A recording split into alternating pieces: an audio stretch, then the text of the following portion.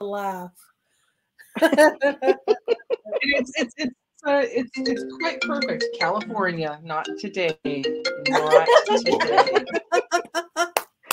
Talk about timing. as soon as you hit Right? record, there You know, is. it, it's just the the non-stop unexpected interruptions um the spam of the world mash you know a man that that that stuff came in a can way back when Mhm. spam Spam you? Yep, Spam? it still comes. It still comes in a can. yeah so how appropriate to name those uh calls on a meat that comes in a can i wonder why they named them both spam Hmm. That- I think that's a whole nother show. We could talk about that for hours. Oh gosh.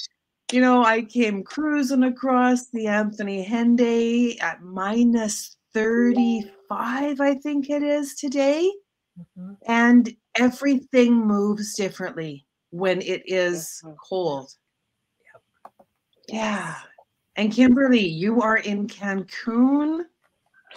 Yes, I am for for the Ah. week. Well, I go back on Monday, but I am on vacation, Hmm. escaping that. That's for sure. Beautiful. Enjoy. Yeah. Enjoy, right? I Smoke it mean, maybe it'll be too. better when you come back. Yeah. Yeah, who knows, right? So how has your life led you to be able to be back on the sun? Yeah, like how's your life led you to the place that it is traveling? Sorry, you cut out. I don't know if it's my place. internet, but I heard how my life has led me to, and then you cut out. Traveling. Oh, traveling. Okay. traveling. You know, um, my first career was as a teacher, and I had never traveled outside of Canada. And then one year I had been teaching, and a group of us teachers decided to go to the Dominican Republic. And at the time, I taught Mm. English and French in Edmonton. And I was, okay, let's go. And before the plane had landed, like, I had this Mm. innate sense of, I need to learn Spanish. And I don't, I don't know, I didn't know why or what, but it was just like, I need this. And I had had the most magical week in the Dominican, fell in love with Latin culture, the Spanish language. And I was like, yeah, there's something here. There was something I could just feel there was a longing. And fast forward a year, and I was mm. contracted to work at the American School in Puerto Vallarta. And I had never been to mm. Mexico before. I had never, never even thought in my wildest dreams that I would pack up my life and move. And I did. And I remember getting off the plane, and this is back, you know, this was 2005, and we didn't have the jetways in in Vallarta. So we landed on the tarmac and they opened up the the doors. And, you know, this is August 10th of 2005. So August in Vallarta. Yeah, exactly, Daphne. It is hot and it is humid and it's like nothing this Alberta girl has ever seen. And No. You know, immediately I start to sweat, but it felt like 10,000 pounds had been lifted from my shoulders. And I just heard the voice and it said, You're home. And I felt it. So, yeah, ever since then, there's been just this soul connection I have with Mexico. It, it has always felt like home from the minute I got off that plane that first day. Hmm. I love how you say the voice. Yes. because we often we often don't know exactly what that voice is it could be an angel it could mm-hmm. be an archangel it could be an mm-hmm. ascended master it could be anything connected to our inner knowing Yeah.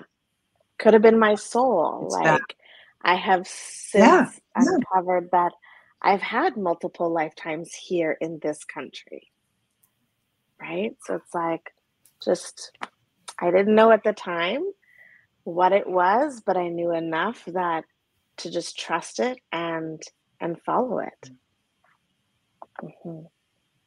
Yeah, trusting and following. It's such a such an exciting adventure and it involves mm-hmm. a lot of surrender. Mm-hmm. Yes. Absolutely. A tremendous amount of surrender.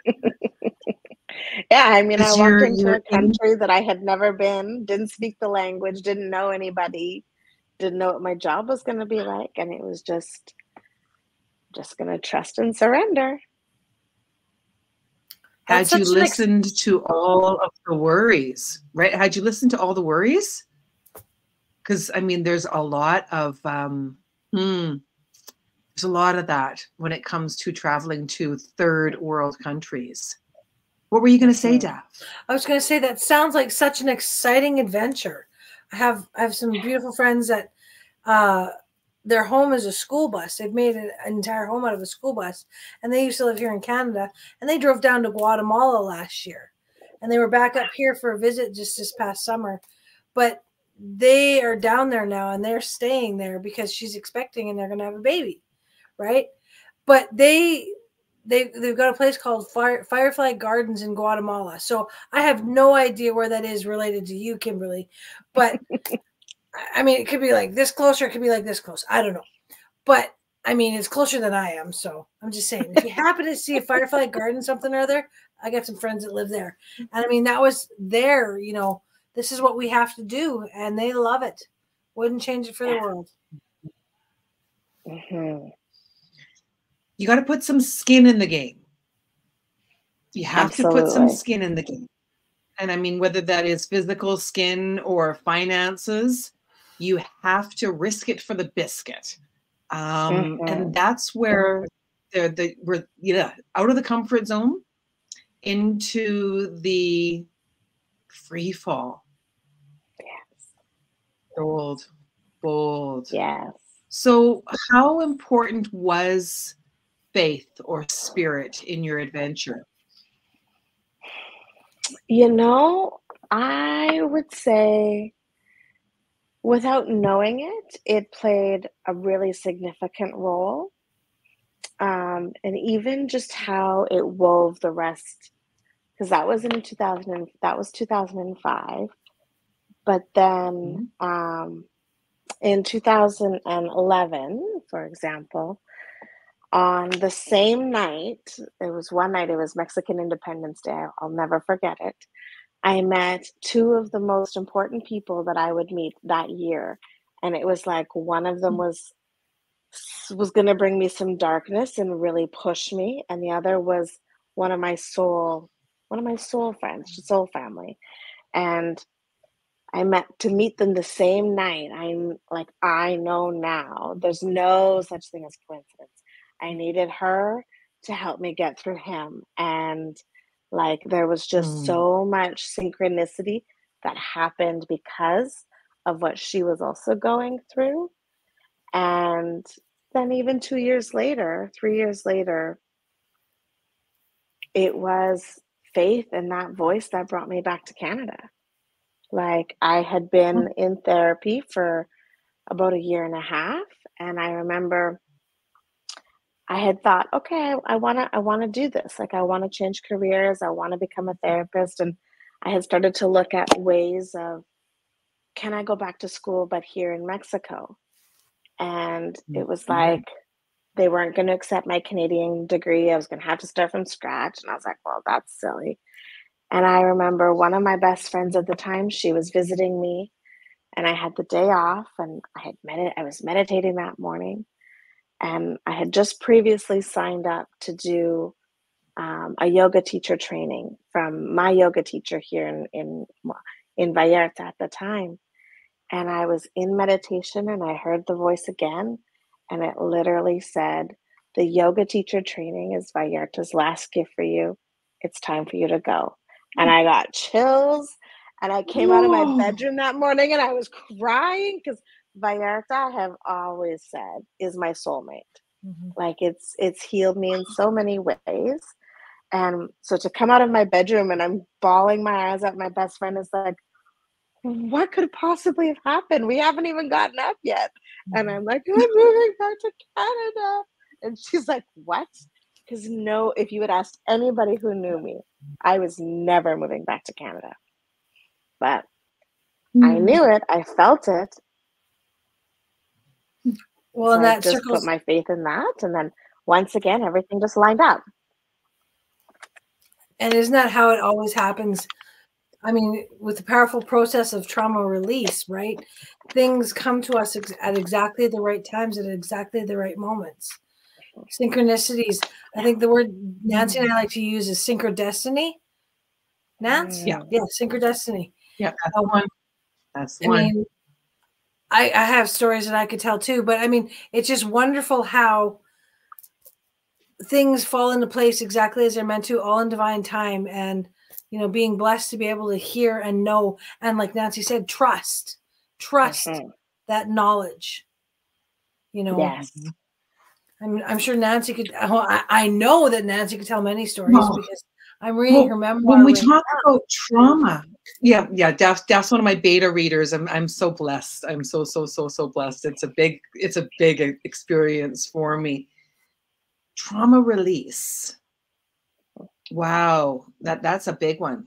That's a big one because the words like trigger is a very well-known phrase, but trauma release isn't as spoken of yet.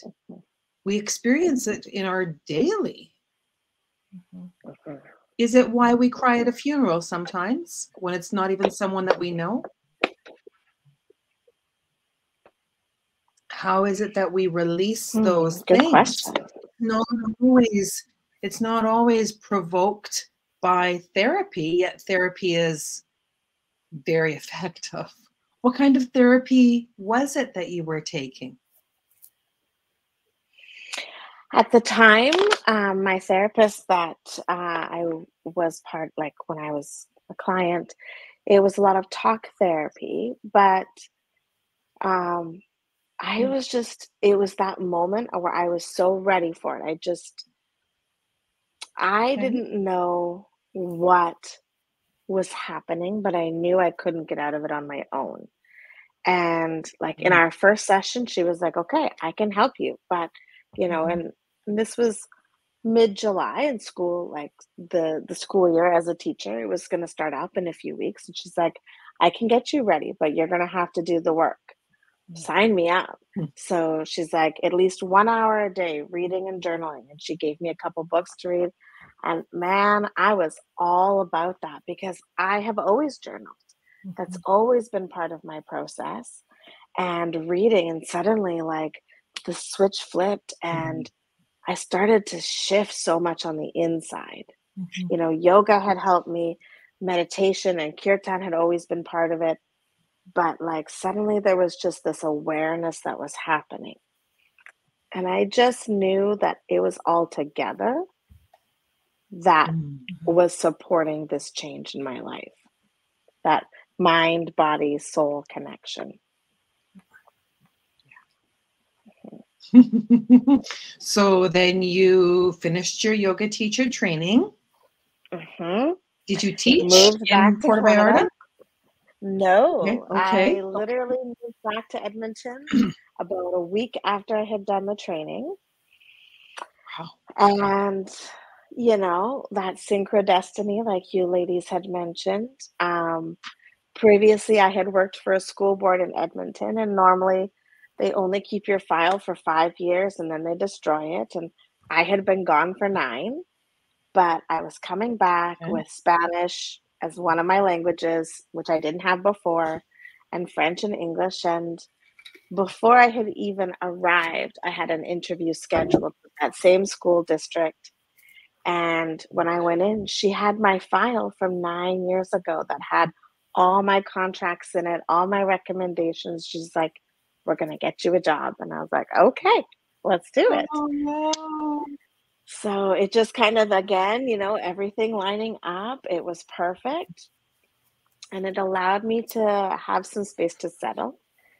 And a few years later is when I started my master's degree in counseling because I wanted to focus on trauma Mhm. and supporting people through their different types of trauma. Mhm. Mhm. It's much needed. It's much needed. Much Mhm. needed. There's been a lot of uh, social isolize, social isolation, which has really um, incubated problems Mhm. that are ready to be birthed. Big Yes. problems. Yeah, big problems. Mhm. I think it's why we so often see the 50 year old marriage. I mean, I've been married for, well, not necessarily married for 50 years, but uh, we've been together for 25 years and we're looking at retirement and uh, we get a divorce instead. Because the idea of spending all that time together is like a hell no Mhm. because we haven't cleaned up the business of being married. Yes. Yeah, because being married is traumatic. For sure. Yeah. Yeah, even the best marriages. It, it- it's not like the marriage is necessarily traumatic, but perhaps the loss of a loved one or a car accident. The like Mhm. trauma is a big envelope. Yes. It's a big envelope. Yeah. Well, and Well- good. Sorry, I no, was go just- ahead. I was going to say, and, and trauma is so different for so many different people. Like everybody's trauma is their own. And, you Mhm. know, what I've lived through, nobody else would want to live through. And I wouldn't want to live through what you've lived through, you know? Like it's, what was this to say? Our universe is where we can share our stories of our bravest and most heartbreaking moments with each other in a world that builds connection. Amen. Right? Yeah. And Mhm. to, to know I- that there's other think- people there for us. yeah. Mhm. Yeah. Because how do we choose that person that we're willing to open our hearts to? Mhm. That that vulnerability on both sides, not the comparative vulnerability, but the vulnerability that says, this is what I've experienced. Mhm. That's it. Yeah.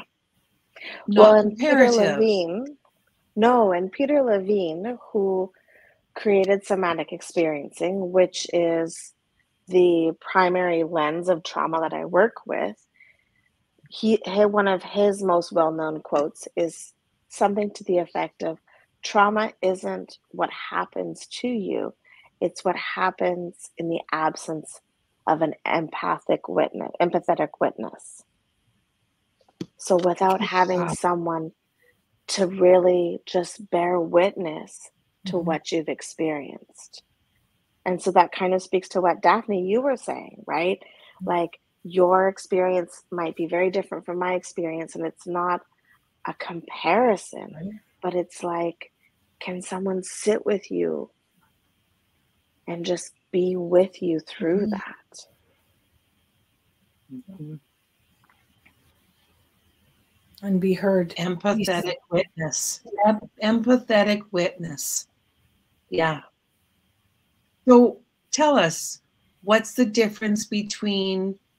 Mm, okay, so we're going through the Facebook posts. There's an experience, and we have the um, condolences. Mhm. I'm sorry for your loss. What would words of empathy sound like? You know, um, it's a good question. When, because I'm also a grief recovery specialist, and one of the things we often talk about is even just using the words like letting them, the person know, I can't imagine what you're going through. Right? I can't. Somebody who loses their mother, somebody whose husband has just died. I don't understand that right now. Mhm. I can't imagine what you're going through. I'm here for you, Mm-hmm. right? And even from that grief perspective, It can be as simple as just checking in on that person. You know, when some when we lose someone, there's that rush of people for the first week or two. And then everybody fades away, everybody continues with their life. There's this idea that, you know, we just get over it. We've adjusted. But that's not the reality for Mhm. most of us. And so it's like checking in on that person, bringing them dinner, you know, remembering those important days, anniversaries, birthdays, whether it's Mother's Day, Father's Day, and just saying, hey, Yeah. do you need, do you want to go for coffee? Do you need something? How are you doing? Mhm. Right? Very important. Very, very important. I remember um, Emily passed in 2011, and there was something that happened. It would have been within six months, and I don't remember exactly what it was. It was a shooting of a sort, and I don't remember if it was a police officer or, but it was it was a big, big movement, and there were yellow ribbons that were tied around the trees and I hated them. I wanted to take every single ribbon and rip it off the tree because to me, in that moment, she had been forgotten. And it was a real challenge for me, those big celebrations of other people and what they were going through. Not that it was a celebration, but it was a remembering. Mhm. And having a friendly face to share it with was very, very important to me. Very mm-hmm. important.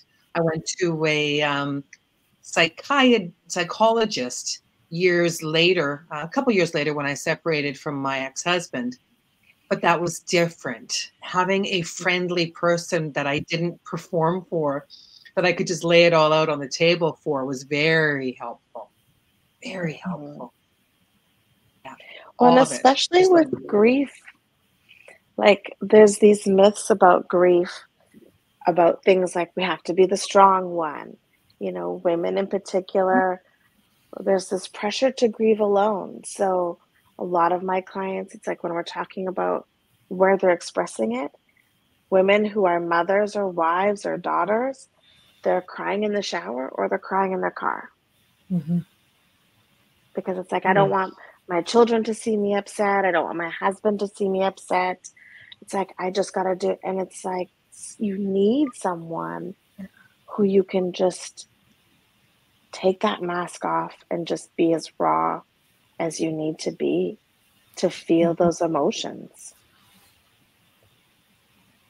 Yeah, we do. We cry in the shower, we cry in the car. I wonder where the men cry. Mm. A lot of times they don't. They also feel that pressure to be the strong one.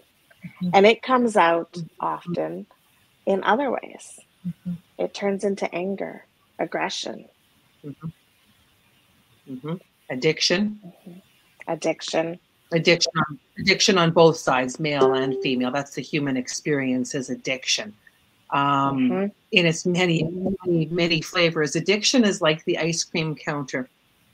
You know, there's the the black licorice, the tiger tiger, the bubble gum, the vanilla, pistachio.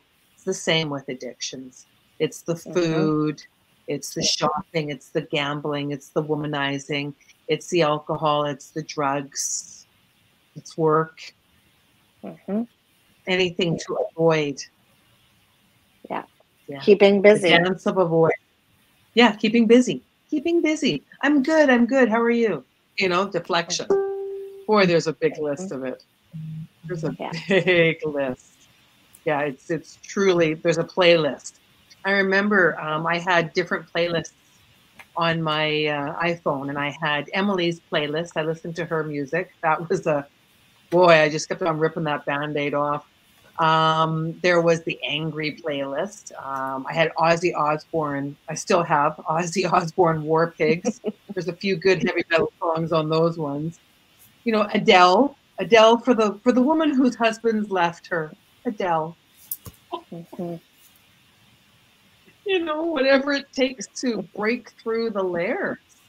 Um, I think it's important and to find that sacred space that you can share it in. Yeah. Super important. So somatic. Tell me more about that. Yeah, okay. This is this is lights this lights me up. I love talking about somatic experiencing. Um so somatic experiencing is an intervention that was created by Dr. Peter Levine. And as he describes it, he like he would watch animals in nature and and just all his different studies. And it's a way of trauma processing. So in psychology, we talk about two different ways to process things top down. So it's where we work starting with the thoughts and the feelings and then the behaviors. Or there's bottom up. And bottom up is that acknowledgement of we will often walk into a situation and we will have a sensation or a perception. And that sensation of perception gives us information, whether it's then a feeling and then a thought. Mm-hmm. So it's like that idea of you meet someone and you're like, oh, I have an immediate, oh, bad vibe. Mm-hmm. That's that sensation, perception turns into a feeling, turns into a thought.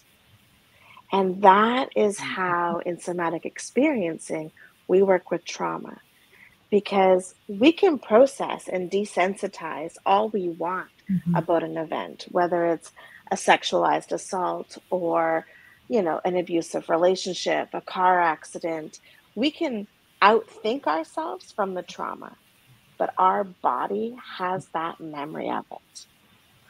And so through somatic mm-hmm. experiencing, we're working with the sensations that show up in the body.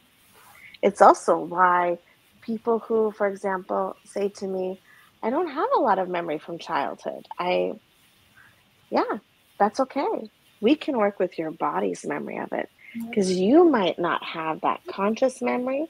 Your brain has worked really hard to keep you safe in order to allow you to get to this point. But there's exercises that we can do where we're going to move some of that out of your body without having the need to go into a specific memory. I have a question. Mm. yes, yes. I'm like, she's a teacher. If I go, just being respectful. Um, is is there one sort of okay? Two questions. Is there one practice that's your favorite within those different somatic experiences? And is there something simple that we could do with you today or the people watching could do just to i mean i don't know if this is even an option but it was just a thought. Yeah okay so there's there's i love that there's two questions. So what it's interesting because every somatic practitioner you know it's a three-year training that we go through right. to become um, certified as a somatic experiencing practitioner and we all have learned different activities, different exercises along the way, and have a comfort level with them. Mm-hmm. One of them that is one of my favorites to do both with clients and was super eye opening for me as a client is a standing up exercise. We're not, we won't do that one today, but it was just, I remember in our training, mm-hmm. we were talking about what SE calls uh, somatic experiencing calls incomplete fight response. So, from the SE lens, people who say come to me and in our first session, I hear them talk about, oh, I get nervous, anxious, I get really worried. That is often a sign that we have a lot of incomplete flight response. My body said, I need to run and I either didn't or I couldn't, right? We think mm-hmm. about children. They, they feel that they're going to get in trouble. They can't run. Or if one parent is physically, emotionally, sexually abusive, they can't run. They have nowhere to go. Yeah. So that gets stored. Mm-hmm. So often, anxiety, worry, fear, that's a buildup of incomplete flight. Mm-hmm. when I sit with someone and I hear them talk about, oh, I get so irritated, annoyed, frustrated, angry, then we're working with a buildup of incomplete fight response. And so there's this exercise we do where we stand up and both the client and I are standing and we we literally will just let the body cycle through and it goes very slow. That's the thing about somatic experiencing. Mm-hmm. We move very slowly because trauma happens very quickly and without our consent. Yeah. So if you're working with me, we're going to go slow. Yeah. And I'm going to ask you every step of the way would it be okay if we did this? Are you okay if we do that? And there's always permission to say no. There's always per- permission to say, this is too much, or I need to stop, always. But when we were in this training, when it was my turn to be the client or the lender, they called it, here I am standing and I would sway. I was swaying. That's what I did as a teacher. I'd stand up and be giving a lecture mm-hmm. and or just talking with the kids and I sway back and forth. Done it for years. Mm-hmm. And one of the assistants popped in and he said, Kim, I'm just curious what would happen if you stopped. And I did. And it was like this overwhelming response from the bottom to the top. My body just shouted at me, No, run. And I was like, What the hell is that? It was like learning for me. That was my body's way. This swaying yeah. was my body's way of preparing me to run in whatever situation I was in. And I had no idea. Yeah.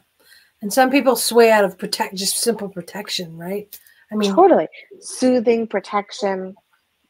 Yeah. So okay, um, next question. Mm. Sorry. Next next I got all these questions. Next question. So you're coming back to Edmonton and are you coming back to Edmonton to do this type of work or are you coming back to Edmonton to be a teacher again? or is it just coming back? Oh no, I'm not a teacher anymore. Okay. Um, and I actually do a lot of my SE work online. It is super effective online. I know it's great. Beautiful. Yeah. So I know you had mentioned before if there was an exercise we could do mm-hmm. here. So another one that I like to work with, it's similar to the other one. Yeah. But I also use it for boundaries. Mm-hmm. So mm. if you want and and your your audience can try it too i don't know they might not have the same response but the invitation is to see what is this space like between us right now and just notice how your body feels when you notice how close i am to you and how close you are to me okay and so just checking in with your body and then what would happen if I were to just move closer? How does that, that feel? Feels better actually. Okay. For for yeah. me. Yeah. And and not everybody would have that reaction. And so that oh, even just this is a good this is a good this is a good way to even know within the people that you're with in a social setting. Just to be and not not to just dive right in. Okay like let's not this is this isn't a, this isn't a bar trick right? Um but you know don't practice this yeah. Um but that yeah okay okay mm-hmm. cool and then to notice what happens if for example i'm going to try and do this what happens when i move you farther away yeah i feel the distance yeah yeah it and creates the, sadness, right? There, yes. Mm. hmm And so when we when oops, when I work with people and we're working on boundaries, part of it is first just noticing how do you know that that closeness felt better? What tells you that that felt better? What tells you that moving me moving farther back felt sad or uncomfortable. And then we play with even what's it like for either me to move closer mm-hmm. or what would it be like for you to move closer to me? No, that's cool. Mm-hmm. Yeah. You want me to move closer? Hang on. Let me, let me move my table. Yeah. There we go. And so, how does that feel for you now? Fine. For me, it feels fine. Fine is not a feeling. Sorry. Feels welcoming. Is that a feeling? Mm. Well, and so what I would ask you is where in your body do you feel that welcoming? Right here. And what how would you Mhm. describe that? Feels like a big hug. Yes. Mhm. Yeah. And so just noticing that. And so this is where we would spend time exploring that sensation. Mhm. And when I work with trauma, there's two parts that we want to work with. Yes, we want to work into that sensation of the trauma, that trauma vortex, that's what we call it. Mhm. So, whether it's an event or a person or even just that acknowledgement that there was something. But we also want to create capacity on the other side. Because often, in terms of our nervous system, Mhm. especially if we have lived or been holding on to a lot of trauma, this is what feels really uncomfortable. Mhm. This is familiar. It might not be great, Mhm. but this is familiar. And so I'm comfortable in this Mhm. chaos. Yeah. And so I want to build capacity with what this feels like as well. What does that hug feel like? Can we expand that a little bit more and a little bit more and a little bit more Yeah. so that it's not uncomfortable? Because for And a lot of people, it is. Well, and that, and that's fascinating because for what I feel is different than say what would Nancy would feel or cousin Sally or pardon me. Definitely, definitely. So, for example, something that I know um, is a boundary for me is when someone raises their finger. Even even just in talking, I know where it stems from. But how is that able to be softened? hmm Well, and so what, like if you and I were to work together on that, it would look, it might look like, okay, well, first, Nancy, when you think about someone raising their finger, where do you notice that tension or tightness or heaviness showing up in your body? Shoulder, for sure. Um, shoulder, jaw. Mhm. Mhm. And so then we would just kind of explore some of that. We would also so as a as a somatic experiencing practitioner, I'm also tuning into my body because sometimes we don't know like as a client, we don't always know what's happening. We're sometimes not even totally connected to our body, especially as someone who might have experienced a lot of trauma. There's a lot of disconnect, right? That's where we have Mhm. numbing and dissociation and and suicidal thoughts. And so sometimes what happens is I pick up on that resonance. Those mirror neurons are sending me information. And so sometimes it's as simple as, huh, you know what? This came up, and what I've noticed is that my right toes are cold. And so I might just Hmm. say, hmm, what is there anything going on with your feet? What do you notice? Brilliant. Wow. hmm Oh, you're you're on mute, Daphne. I do that on on purpose. There we go. but obviously because you're so very empathetic and you can feel these things and, and and not hold on to them. That's wonderful. I mean that's why that's why i use the tools that i use right? So Mhm. you know there's so many things that can evoke like you were you were showing with the boundaries the body movements. Um daphne and i have a friend of ours who came to a meditation workshop quite a while back in st albert and i brought out different essential oils and one of them was pepper Mhm.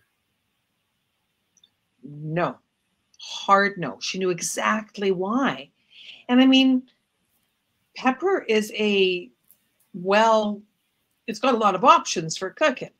So to remove it from your experience because of another experience, Mhm. there's a sadness there for me. Mhm.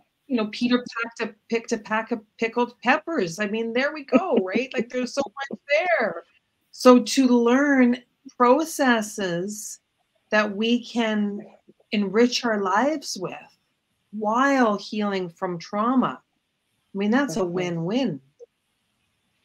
Well, and even from a somatic lens, from a somatic experiencing lens, something like that, we would we would talk about just how fused together, you know, that pepper is with whatever memory or person it's been associated with. Mhm. So we would want to, or we might work through just separating some of that so that they're not so connected. Hmm. right? And it's like, so we want to, because from that example, this would be considered overcoupling. They have been joined together too much. And then some things we have are undercoupled. They're not, they're, they're potential resources that we haven't built upon. And so we want to strengthen that. But when something like that happens, it's often two things are overcoupled together. And so we want to just release that hold it has in order to Mhm. separate them and individuate them. Like the finger Wow, raising it's for in- Nancy. Yeah, the finger raising thing, right? And and you know what? It's so much more effective than some of the traditional. And I mean, everything's got its own place and space. But the like the ink blot, what do you see when you look at this image? You know, because that can be right. Like uh, it, it's just I don't know. It's not. It doesn't feel custom or caring. I, I just that that's that's me, right? That's me.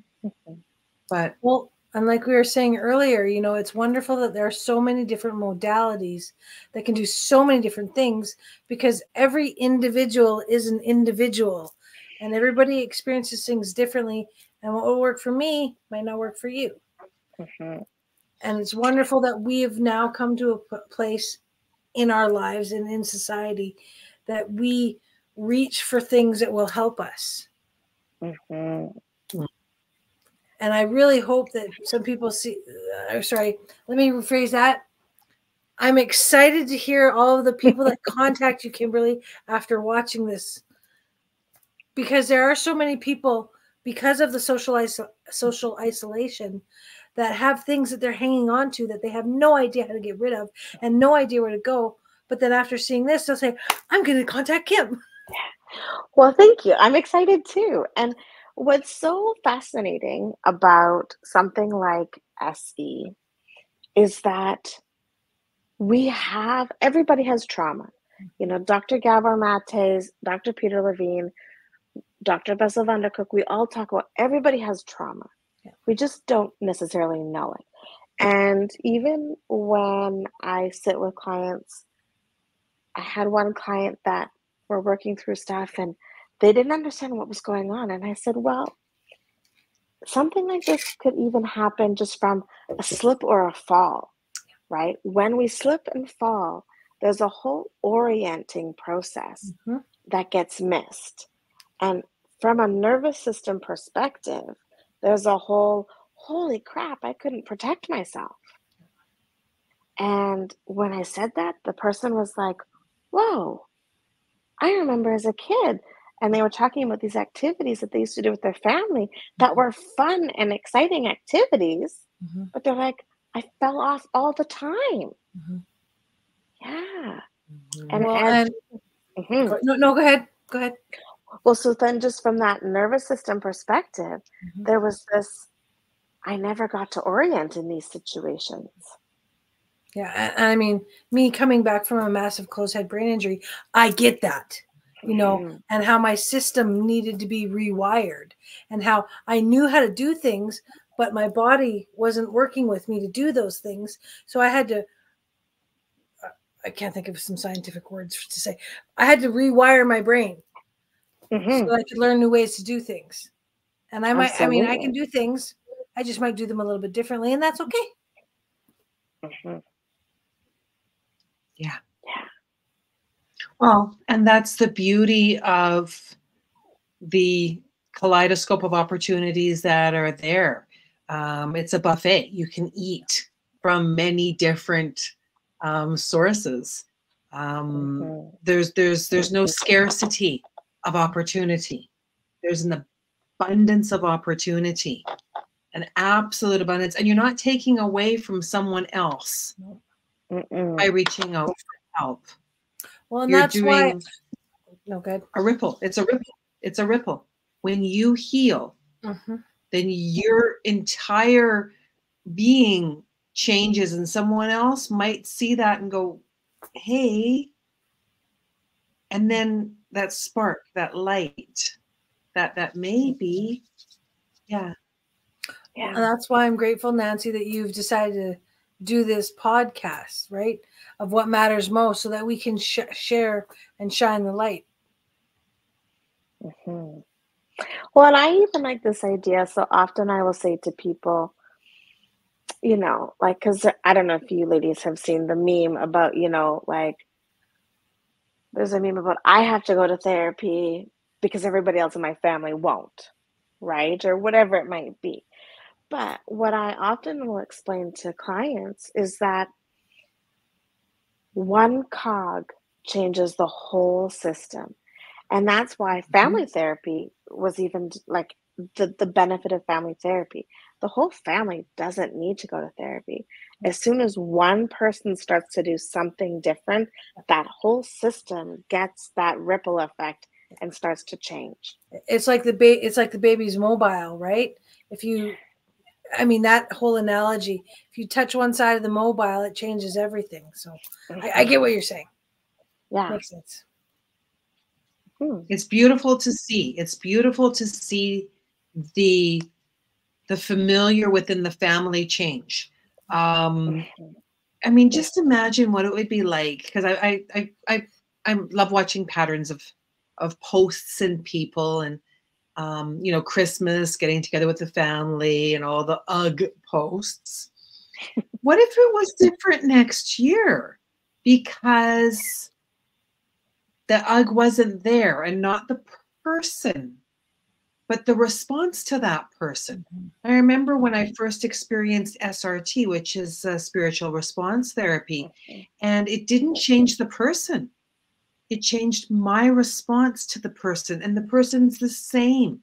The person's still the same. That same person that drove me crazy is still a it's a, they're a small satellite in my life, but it's my um, my ability to be with them that has changed and transformed. Again, why I chose to understand SRT and become an SRT practitioner. It's Mhm. beautiful. It's so Totally. beautiful. Yeah. Well, and I think about it like even from a somatic lens, when I work with someone who say has a an overloaded nervous system and we start to take some of the edge off, it's like they've said to me then, huh, I wasn't as reactive with my mother-in-law anymore. Mhm.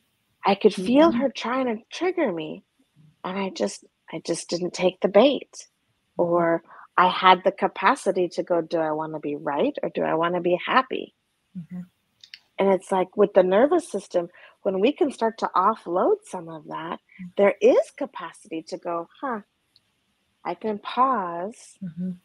and not go into that. That's I can like- make a different choice.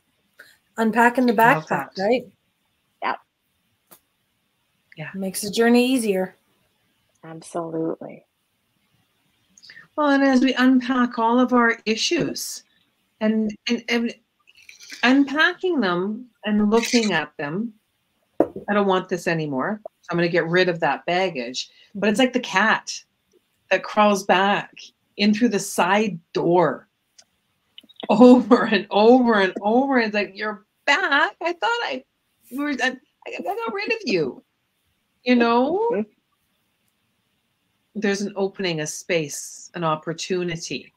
Um, you know, the universe is filled with new Mhm. choices and second chances. It really Mhm. is in the most wonderful ways. I, I've, I've been noticing with myself, permission to rest Mhm. Mhm. is big. Mhm. That's a big one because I rise early, obnoxiously early for many. And um, I mean, what time is it now?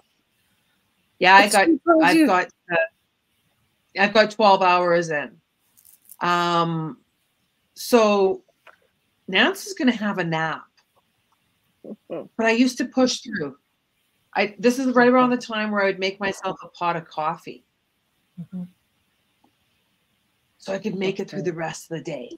You know, and then and then good old fashioned adrenal fatigue built up. Yes.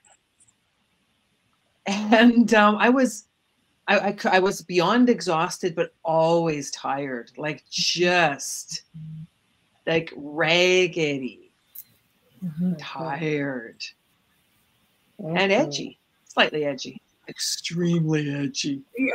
Um, oh my god, I would just pop a gasket, I pop a cap, and um, it it just became my normal. And to think of not having that made me very afraid, Mhm. Mhm. very very afraid. Like you were talking earlier about that, right? Like this was my comfort. This is mine. This is who I am. This is what I do. Mhm. Mhm. I mean, yeah. Well, and there's been a lot of times that I've worked with clients, and we will even work through their somatic response to rest or Mhm. slowing down because there's often for for a lot of people I've seen there's this I can't sit down so there's this nervous system I need to keep going I need to push through I need to go go go and when we dig through into some of the layers sometimes it comes to that self-worth piece if I'm not being productive I'm not good enough sometimes it comes back to messages around what they heard growing up about rest is lazy Yeah. you can sleep when you're dead like all these kinds of stuff it's like not only do we have to work through the body but we have to unprogram some of that Mhm. Mhm. it's Fear of very missing out. for people yes fear of missing out, right? Like that person that's sitting in front of the TV, right? It's like, just go, just go in the bedroom and have a nap, right? It's like, no, I'm comfortable here, Mhm. right? Um, a lot of that. One of the things that really helped me, um, because I do travel more, um, and sometimes I'm not comfortable where I'm at. So to close my eyes and bring myself to the bed that I am comfortable in, in the home that I am comfortable in, turning a certain way. Like if the sun is shining on my face, I'm extremely comfortable. Blackout blinds, oh,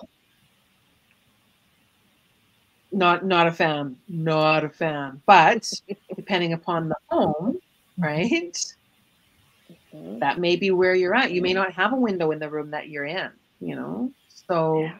finding finding solutions. There's a lot of solutions available. And I think the more that we build the solutions into our repertoire, when the next nasty comes along, we're prepared. And we have a recipe to look at. Yeah. To choose from. Mhm. Mhm. Yeah. Mhm. That's why I've begun um, um, scheduling self care every week. Every week. Mhm. Mhm. Every week. I Yes. before the podcast, I just got back from a massage. I, it, they're non-negotiable, and I don't get Mhm. as growly when Ralph asks me, "Where are you going for massage?" You know, it's it's not like that. Um, it's it's I'm like I'm going to see I'm going to see Michelle for cranial sacral and massage. Oh yeah, That's this lady. Mhm. Yes. Yeah. Big, big, big difference in my life self care. Mhm. And. I mean, perhaps one day, I heard this um, on a beautiful podcast 10 years from now, when the entire world is a barter system, we just trade and exchange. Mm. everything. Beautiful. I like that one. I do too. Let's put that one out there. Plant the seeds for that one. Yeah. That would just be so neat. I like I Yeah. like that one. So, That Miss would be my Kimberly, I'm wondering, is do you have any final thoughts for us or any words of wisdom that you could share with people that are watching this podcast? Oh, that's a good question. Um, I think for me, I would say that being open and willing to look mm-hmm. at your experiences and walking into them is probably one of the most courageous things a person can do. Mm-hmm. It's not easy going to therapy. As someone who has been in therapy, I'm like, oh my God, the amount of time I've spent balding in my office, in my, my therapist's office or whatever. But I know it was a game changer for me, and I've seen it be a game changer for my clients. I've seen it for my friends who go to therapy. And it's just like we put so many limitations on what our life can be like. And we don't realize that something as small as just committing to yourself, investing in yourself, so you're not carrying that backpack, it can be a game changer. And Mhm. recognizing that, you know, I have clients that have come to me and they know that they have trauma and they don't always want to get into it. And just know that some of your trauma can be unpacked without having to tell the story. And that's the beauty of somatic experiencing is we don't have to unpack any story to move some of that out of your system because your body will tell me and we can move it out from your nervous system and support you in having a healthier way of being. Beautiful. Yeah, I think those are probably my Mm. my final words. That's that. When you said story magical, always be told. The story doesn't always need to be told. Sometimes telling the story is helpful, um, but the story doesn't always need to be told. I like that. Mhm. Yeah, that's beautiful. En español. I like Nancy. I like Kimberly. She uses magical too, just like me. Hey, there's lots good of one. magic in the world. It's I know. Well, there really is. There really is. And when you find something that you want to learn, it doesn't have to be for work. It doesn't have to be for a career. It can simply be a longing to be able to learn. I know for me, learning more Spanish is very important to me. I want to learn how to say over easy for my eggs. Oh, I always forget that one. I always forget that one, and I get that one and scrambled confused. And so I'm not the one to ask today because I will probably end up telling you scrambled, and then you'll be like, "What the heck did Kim tell me this for?" I'm like, "I'm sorry, Nancy. I told you scrambled." Well, That's not my because it's not just a simple phrase, right? But that's the kind of Yeah. that's the Spanish that I want to learn just for me. Mhm. you know, just for me. So if we can make this more, instead of the hashtag me too, hashtag just for me. Yeah, that's Mhm. special. So thank you so much for taking the time with us. This was an absolute joy. I've got the sun shining on me now. See that? Um, I'm almost feeling tropical. Mhm. Um, almost. She's look going to. Mexico Don't soon. I know. I I, know, right? She gets to Yeah. escape shortly. down, right? It's coming along. Two weeks. Two Mhm. weeks to today. So when this airs, I am in Mexico. Cool. super cool. Yeah, yeah, it's neat. Yes. You know, go after your dreams, ladies and gentlemen. They do come Mhm. true. Go after them. And you no, know, no heal. dream too no, no dream is too big. No dream is too big. The I like that. possibilities So are infinite. mic yeah, mic drop. That's right. Mic drop. so thank you all for choosing joy. And we will see you again very, very soon. Peace out. Thank you, ladies. See ya.